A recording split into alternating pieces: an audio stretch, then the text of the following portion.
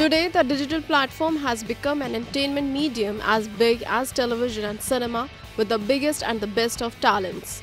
First time, IWM Buzz conceptualized first of its kind awards show dedicated to web entertainment space, bringing together the biggest names of web for a dazzling award night.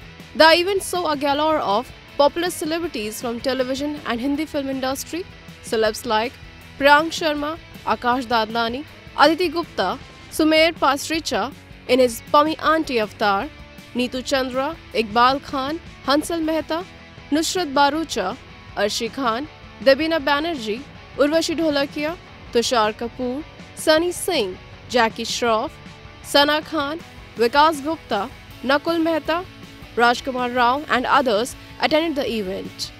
Honest report.